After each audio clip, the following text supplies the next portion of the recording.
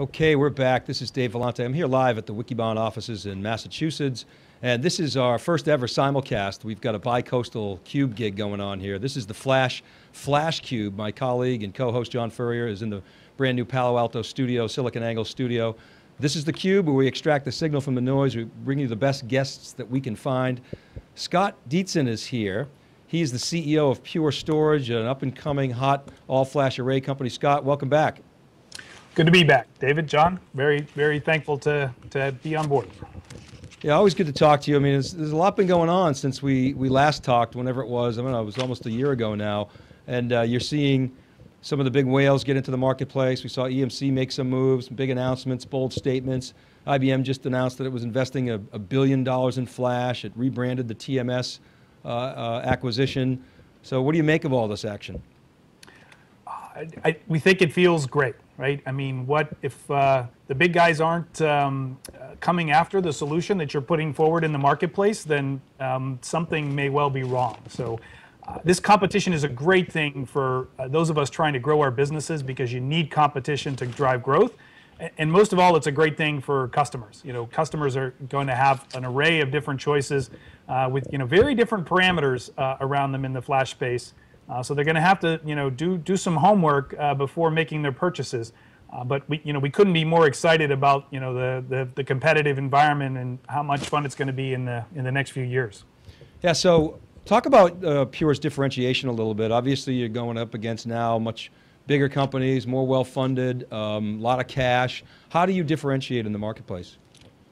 Well, so when, when Pure was founded, um, we felt the key hurdles to flash adoption in the enterprise uh, were two. Were, were cost and compatibility with existing uh, enterprise applications and workloads, right? The customers we work with don't want to re, you know, rewrite their applications. They don't want to change uh, their configurations. They want a flash uh, substitute that can be just slotted in in place of a disk array and yet offer all of the advantages of, of flash, the performance, the power and space efficiency, and, and the dramatic simplicity advantages over disk. So, you know, we crafted this, this recipe, you know, four years ago now, where we used um, uh, off-the-shelf MLC flash uh, and where we used very fast data reduction. So global inline deduplication and compression uh, that works uh, sub-millisecond and yet shrinks the data that we, we store on disk so we could get uh, the price point of, of all flash down to where it was uh, competitive with disk. and, you know, that remains a unique differentiator for us in the marketplace Although clearly, you know, with solutions like uh, I/O from EMC and FlashRay coming from NetApp, um, we expect to see company in the years ahead. Yeah, so you guys have been very aggressive about the data reduction strategy. It's it's it's, it's critical, uh, and and you're pushing that very hard. So what I'm hearing from you, Scott, is you you feel as though you've got a lead uh, in that uh, regard. Relative is certainly you know XtremIO is not in the marketplace yet. IBM you know, hasn't done, for instance, the data reduction yet, even though you expect that to come with Storwize. So all that's coming. So what's next for you guys? How are you going to stay ahead of that curve? um, time is going to tell how uh, steep these, these hurdles are. I mean, we've invested uh, uh, dramatically in software. You know, I, I, would say some of the companies that got into the flash space, especially those that got in uh, earlier, had to go off and make hardware investments to, you know, to even assemble a form factor that was 100% flash. And we had the luxury of coming into the market when we could put together uh, off-the-shelf uh, hardware technology and put all, pour all of our energy into software because we, we see that as the differentiator uh, long term. So you know, the way we think you win in this marketplace is through cost. You know, we talked about data reduction. One of the things we've done is actually put our data reduction aggregated across hundreds of systems uh, up on our website so that everyone can see what the average data reduction uh, is uh, on a pure storage array and you know the difference that that can make. Um, what, what happens next is you know continuing to grow and advance the solution. So you know we have features like dedupe aware snapshots available in the marketplace today. That's critical for most business critical deployments uh, of storage. But we still are lacking things like replication for uh, cross-site disaster recovery, uh, and we've you know we've got to build that technology out. Uh, there's ever greater uh, scale uh, of the solution, right? We're doing you know 100 terabyte plus uh, deployments today, but we need to get into the half petabyte range for um, the customer demand that we're, we're seeing going forward. And then there's opportunity to support you know, alternative access protocols and, and so on. We, we joke, our CTO jokes, we've got a, a five-year uh, roadmap uh, to keep uh, one of the most talented engineering teams busy that will hopefully allow us to stay ahead in a very competitive market. Yeah, I love the forthrightness, Scott. You're always that way with us on theCUBE. Talk a little bit about this whole notion of software defined or what we call Wikibon software led. Um, what makes you guys um, feel as though that's the future, number one, and, and what makes you software defined or software led? Well, you know, I, the, the term, at least with respect to storage, I, I, I do think is still being sorted out. So uh, I, I like the renaming you guys have, uh, have proposed. Uh, when some people talk about the term, they talk about uh, storage uh, where you actually put the media into the, the server uh, infrastructure. And then you know you, you sort things like fault tolerance um, and you know being able to protect the data through mirroring and so on, all with a software stack that runs entirely inside of the, the server. And that mimics what some of the large data centers have done, you know, what Google and Facebook have done with, with their architectures. The, the, challenge for that model with a you know, traditional enterprise deployment as I mentioned earlier, is it doesn't provide native high availability, native non-disruptive uh, upgrade, uh, non-disruptive expansion, um, features like uh, consistent snapshots um, and uh, you know replication out of the box across across data centers. these sorts of uh, features are crucial to traditional businesses, uh, and we think ultimately need to be part of that infrastructure. But you know, ultimately, the thing I think it's going to be hardest of all to pull off um, in this space is the really fast deduplication and compression.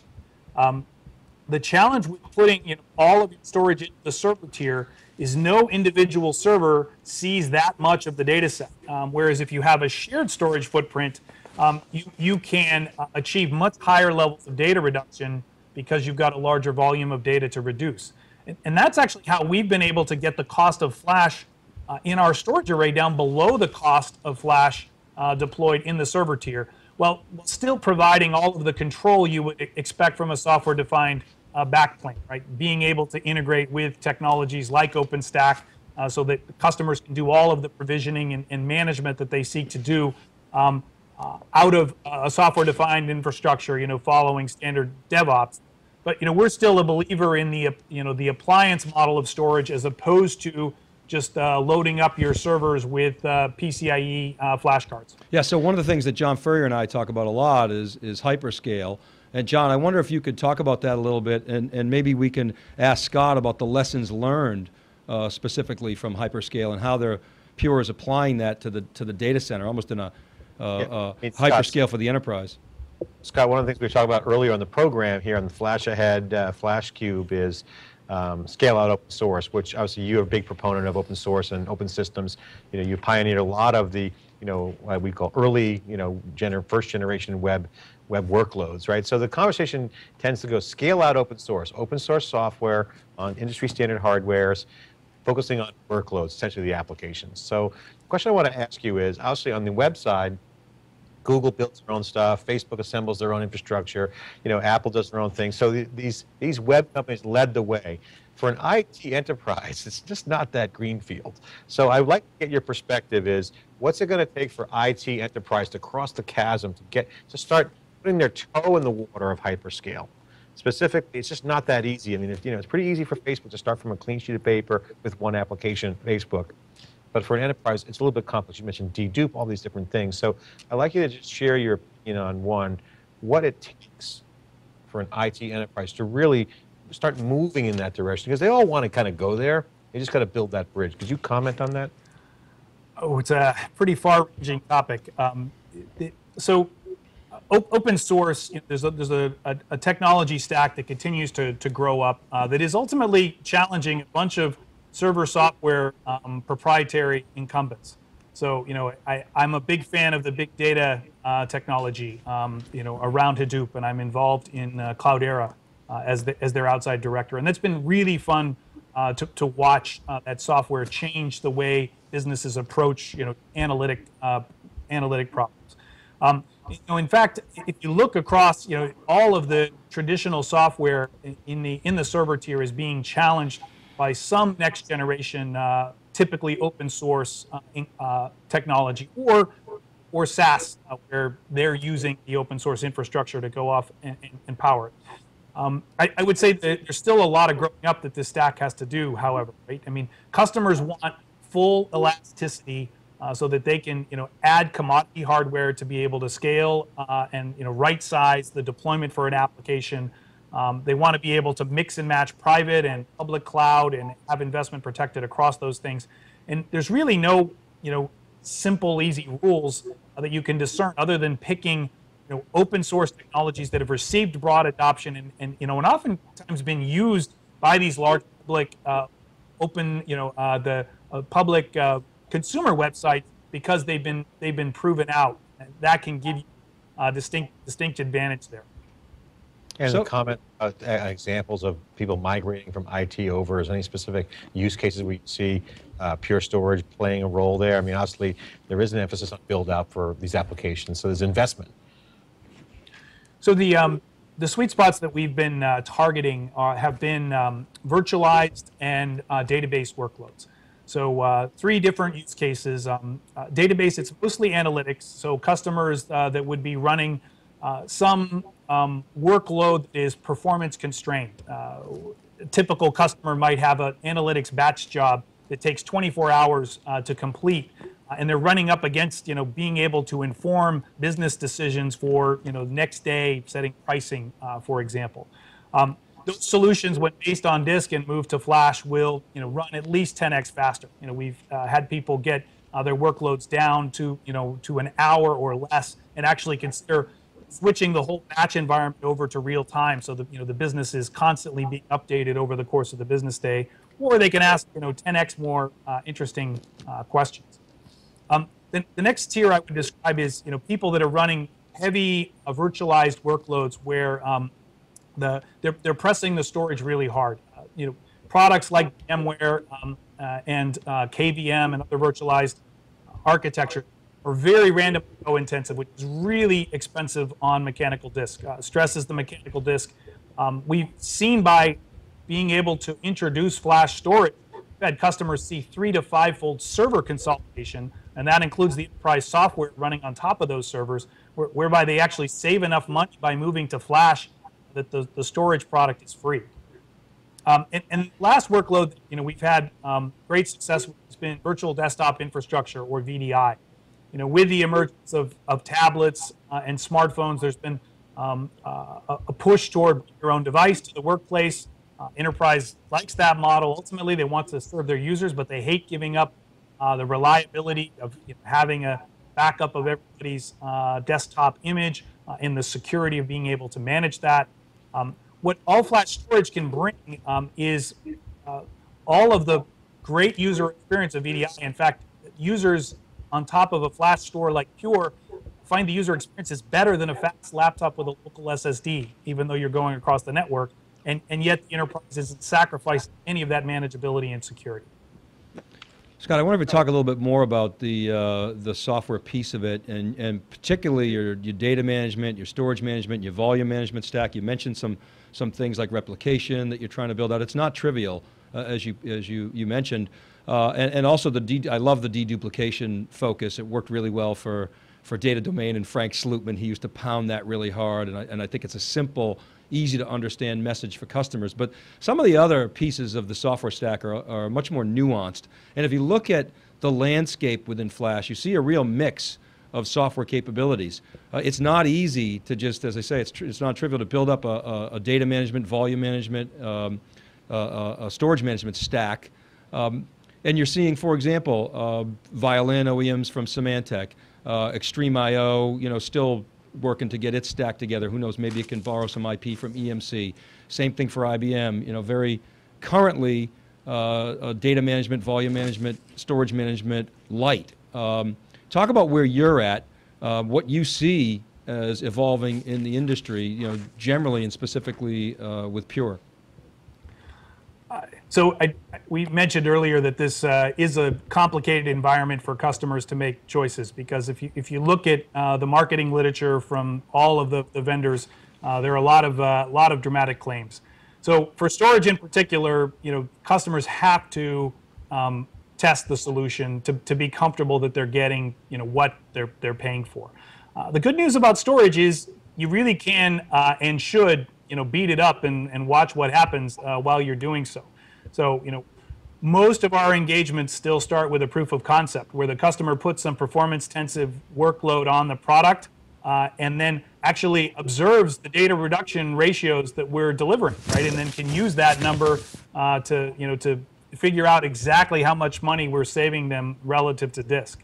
Uh, and then they'll try things like while the, the storage is under heavy load, uh, they'll, they'll pull SSDs, they'll pull network cables, uh, they'll unplug power supplies. Um, uh, they'll install new versions of the software, right? True enterprise technology should be able to accommodate all of those use cases non-disruptively. We, uh, you know, think of non-disruptive uh, everything uh, in the storage tier because everything upstream, you know, depends on that storage being available. And uh, this is where you know customers will see substantial differences in the various solutions. You know, the level of data reduction that's actually afforded uh, in these you know production systems, and then their ability with, to withstand um, all sorts of uh, incremental failures and self-heal around those failures uh, in the environment is something we would encourage every customer to, to try out.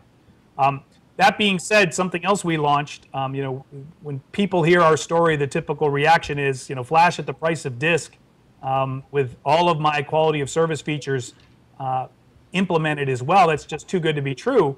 And, and so we, uh, we moved to a model where we provide a, um, we call it the love your storage guarantee. If we don't deliver on uh, the data reduction, uh, the performance, the quality of service, the simplicity uh, that we advertise through the course of our engagement with a customer, then we'll give them their money back. Have you ever uh, had to deliver on that uh, guarantee? Uh, not yet. Um, it, but it's, it's such a competitive marketplace. You know, I'm, I'm, I'm sure we will have to deliver on that uh, at some point in time. But you know, when we we look at it, I mean, uh, we look at the the customers that are delighted with our product uh, after they get it. Um, it's a no-brainer investment uh, for us to offer that money get back guarantee, uh, given how rarely customers don't fall in love with the storage once they get their hands on it. Scott, can you talk about the competition? You mentioned it's very competitive. Obviously. Um, you guys are have a different advantage because you're coming up and you're you're essentially growing startup and heavily funded. Obviously, the business that you're in, you have to be. But the bigger players have to make adjustments. IBM's announcement was very clear. We talked about it earlier. It's a stake in the ground. Much more uh, a rallying cry internally for IBM to kind of rally around storage again. And two, it gives public confidence. And the rest is kind of like, I think, you know, just is what it is. Um, EMC went out and decided to buy XtremIO. Again, a big move. Some are saying that, you know, internally it wasn't working, so they go outside to get it. How long does it take? Can they just cobble together acquisitions? How much organic growth do you think they need to do? Obviously, modern infrastructure is changing. Uh, what, what is your opinion of the M&A of these big players, and what do they need to do in the EMC for specifically IO—that's a big acquisition. They're betting the farm on Extreme XtremIO. Uh, well, it, so you know, I, I shouldn't um, suggest I really understand EMC's uh, strategy in full, but you know, it, it, feels to me like they are building the train uh, track from both directions, right? They are they're building out the XtremIO solution and investing in that, but they're also also continuing to invest in VMAX and VNX, their legacy disk uh, solutions, uh, in in adding ever more flash uh, to them. You know, the, the challenge with those solutions is it's harder to you know to go off and do the radically innovative things like uh, full deduplication. Um, you know, ultimately, we think they're going to need to do compression too to be competitive with the, the data savings that we're we're providing. Uh, and and but you know, EMC is a is a large organization. They'll be able to make you know those broad investments. Um, and I/O is you know a technology that comes with you know a bunch of the the the the, the foundational pieces uh, addressed. Right. I mean, the most crucial things are being able to get that fast data reduction um, married to uh, native implementation of snapshots, right? If, if you try to provide snapshots uh, that's not well integrated with deduplication, then snapshots get very expensive uh, from you know space and reporting uh, uh, per the perspective. Whereas you know when they're natively implemented and tied in with that data reduction technology, um, you can almost implement them with zero overhead.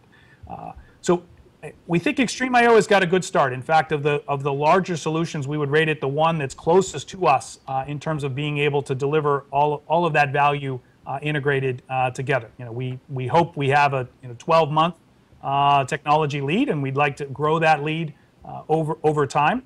Um, I think for many of the other vendors, uh, there's a much longer software investment to make. Um, you know, I I mean, we were we first shipped a technology that was doing this inline deduplication and compression uh, in business critical deployments three years ago, right? And and we've got a fantastic team. So uh, the the challenge will be, you know, this market is developing rapidly. You know, if, if you're still years away from having a competitive product that is able to deliver flash at the price of disk, uh, it may be too little, too late. Yeah, so Scott, I had uh, two last questions for you. So, what sort of milestones, what what um, data points should observers be looking for in terms of of Pure's progress over the next 6, 9, 12, 18 months? What are the things that you're really focused on? Oh, So I, I mean, the, the, the challenge in front of us is uh, scaling our business, you know, as, as rapidly as we can. I, I mean, we've mentioned uh, that we're out of the gates faster and growing faster than any company in storage history, at least any one for which we have a public public data. Um, that puts a lot of uh, you know uh, challenges in front of a team. It's also just fantastic uh, fun. You know, we've got uh, you know partners uh, coming to us, and we're uh, we, we in, in some territories we actually have waiting lists of salespeople that want to join the company. You know, as soon as we have enough pipeline available, then we'll you know we'll in, invite them in. Um, so it's a very gratifying position to be in, but we've got to make great decisions about who we hire. We've got to make great decisions about the partners that we continue to work with. I mean, most of our business is uh, partner um, uh, led and or fulfilled. So continuing to attract the best and brightest uh, partners that can make the biggest difference for our business. That, that's what I sweat, right? The sweat, you know, in front of us, the product is working so well. This is all about execution and, and moving quickly to uh, you know, capture as much uh, of- of the, the greater market as we can and make sure that we're showing the advantage of the product relative to these uh, competitors. Excellent. I was going to ask you what keeps you awake at night, what worries you, and I think you kind of just answered that. You know, hiring the right people, partnering with the right people, getting ROI out of your your partners and your ecosystems. Uh, anything you'd add to that? Uh, I, I, I do lose, lose some sleep over differentiating, and you know the, it is a very noisy space. Uh, but you know I think fact now that we've got the big guys coming out with product, um, you know XtremIO and FlashRay from NetApp are, are both very similar to the product that we launched in terms of the recipe that's being articulated. So so that ultimately makes it easier for us to say here's the goal, right. This is what uh, market is converging on as the right solution. Uh, frankly, it's exactly the recipe that we launched Pure Storage with four years ago. I mean, it doesn't get any better uh, in in tech. You know, to, to have the big guys come to your playing field um, and you know try to try to win against uh, against you there. So shame on us if we're not able uh, to continue our technology lead and and you know prove out the, the best at delivering this uh, this value proposition in the industry. But you know, it's it's, it's going to be a lot of competitive work to stay ahead of talented uh, companies. Yeah, you're uh, excellent, Scott. Well, it's- you're right. It's a lot better than being all alone in an echo chamber. Scott Dietzen, uh, CEO of Pure Storage. Thanks very much for coming into the Cube today. Really appreciate it. Uh, my pleasure. Uh, always glad to join you guys.